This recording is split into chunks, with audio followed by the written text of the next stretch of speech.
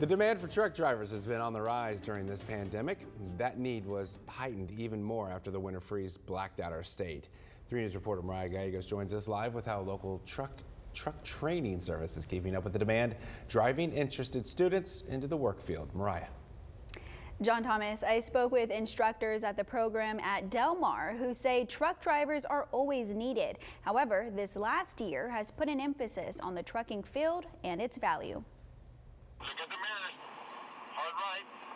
Look at your right mirror. Come These students are turning the wheels on the current truck driver shortage. I feel a lot of people oh, kind of overlook truck driving, but this is a good field to get into. Patrick Garcia is halfway through obtaining his commercial driver's license. This new skill will allow him a bump in a title at work and in pay. I can also like it widens my span of job choices that I can get, and you know it's there's they need a lot of truck drivers out right now. Tristan Osborne agrees, saying the training program at Del Mar College gives him the opportunity for advancement in his current job. We haven't really gotten to the point to where we can't take anymore. We've always made adjustments for it. Lead instructor Jaime Flores says they've seen a higher volume of students showing interest since the pandemic started. Some of the basic things that people don't realize, whatever you buy, eat, wear, we deliver it. The Transportation Training Services at Del Mar College is currently enrolling for new students, but their next available class isn't until the end of June.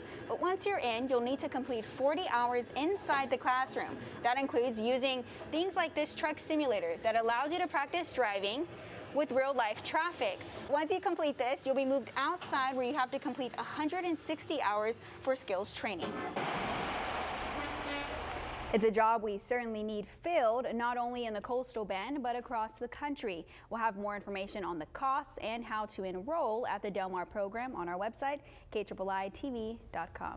And John Thomas, you know, instructors said the hardest thing to get down is staying calm, remembering to breathe, and it's actually a bit harder than it sounds. I got some practice in. I want you to see this right here. I think we've got some video.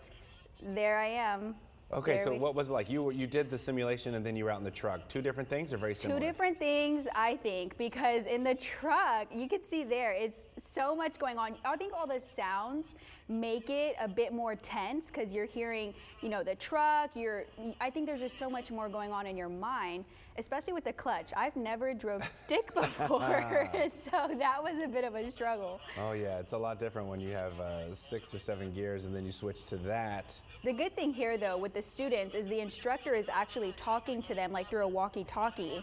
So while I'm driving, he's telling me, you know, turn left, turn right, slow down.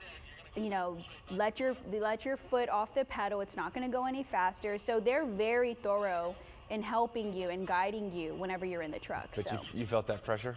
I felt pressure, but I did a good job. I, they said I did a good job. I Well, hope they weren't being nice. The most important question, did you run over any cones? Did I you didn't run over anything. I parked perfectly. I didn't kill it, which is the terms they were using. So Okay.